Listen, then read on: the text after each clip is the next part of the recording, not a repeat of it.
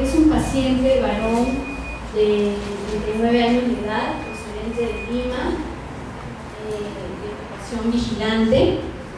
El paciente refiere que aproximadamente hace cuatro semanas presenta un dolor lumbar y en miembros inferiores, por lo cual le administran vía intramuscular eh, analgésicos y relajantes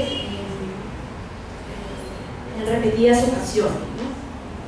Posteriormente refiere el paciente que después de aproximadamente dos semanas después presenta una tumoración glútea derecha, por lo que deja de administrarse eh, las, inyecciones intramusculares en ese lugar y se empieza a inyectar en el otro glúteo.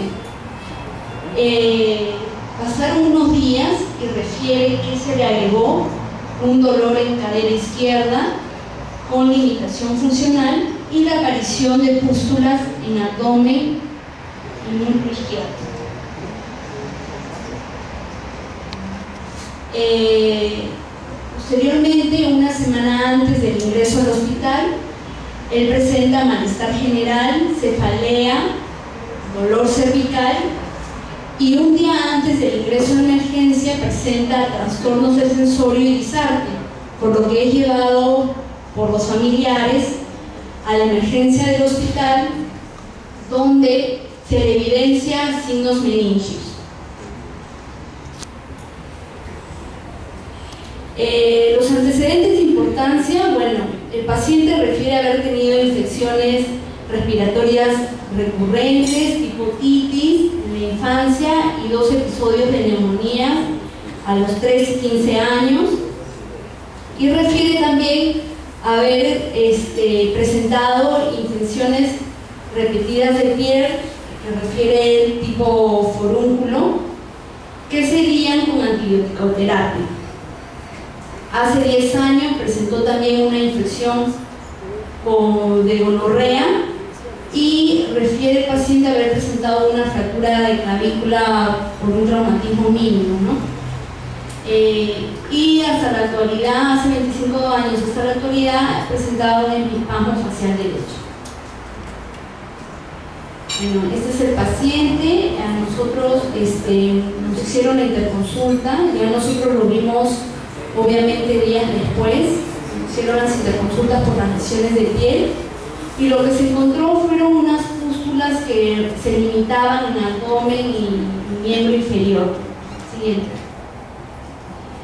Acá se pueden observar, son pústulas y algunas lesiones erosivo-bustrosas múltiples en la región abdominal, siguiente, y algunas escasas en miembro inferior, siguiente. Y tumoraciones blandas eh, sobre la articulación de la muñeca izquierda. Una se presentaba en el dorso de la muñeca y en el dorso de, la mano y otra en la cara radial, si se puede observar.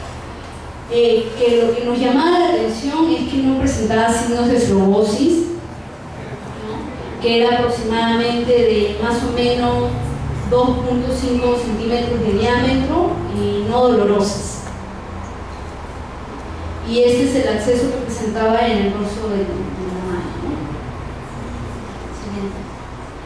Y también quisimos recalcar que el paciente presentaba onicomicosis, de, tanto de manos como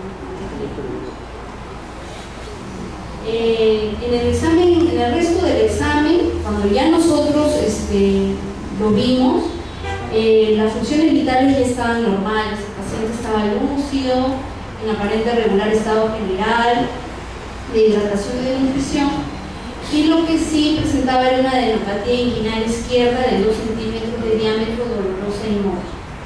En la cavidad oral se encontraron placas blanquecinas, carrillos, y en el aparato respiratorio y cardiovascular normal en la abdomen lo único que se encontró fue un estaba timpánico, ¿no? con ruidos aumentados.